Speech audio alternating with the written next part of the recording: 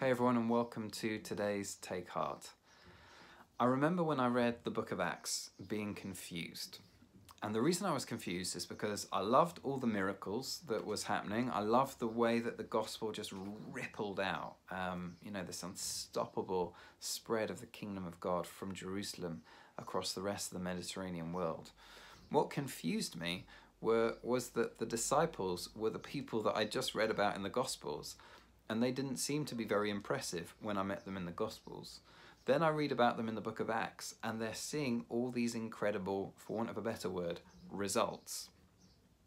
And my question was, how are these? How is this bunch of people managing to get these kind of results? Uh, it would be a bit like if you told me that Scunthorpe United had just beaten Barcelona 10 0. My question would be, how has that team got this result? In the same way, in the Gospels, the disciples give in to fear all the time. Uh, Jesus, you know, in his hour of need, he finds them all running away, apart from Peter, who stays around long enough to pretend he's never met him before. Then you've got the fact the disciples don't understand so much of what Jesus is saying in the Gospels, they just don't get it. And then on all sorts of occasions, they let themselves down by suggesting they should burn Samaritans and all sorts of crazy stuff like that.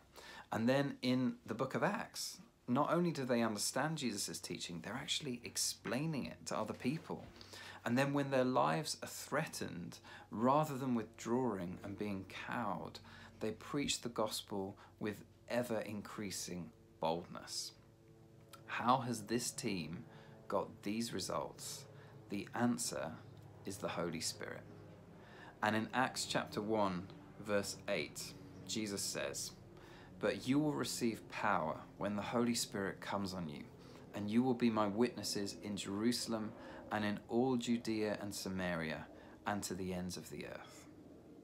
So, the way it's worked, and this is the way it has always worked since the first followers of Jesus, is that God doesn't use people who are sorted, who have got it all together.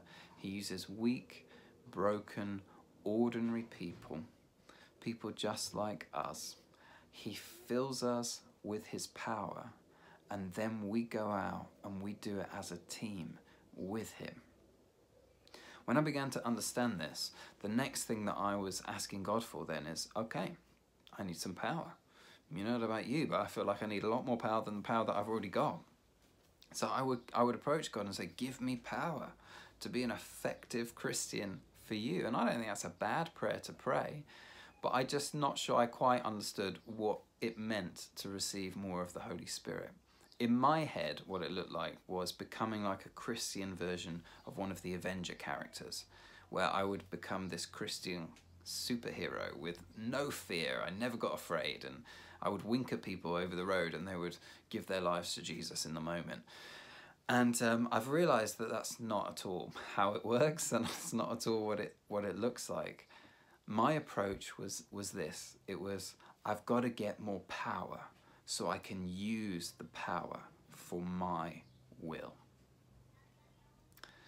the uh, there's a guy called watchman nee who's written this classic book called the normal christian life that i would really recommend if you haven't read it having a look at it but in the normal christian life he talks about this particular part of china where uh, these guys took the gospel and they had to translate the gospel into the local dialect.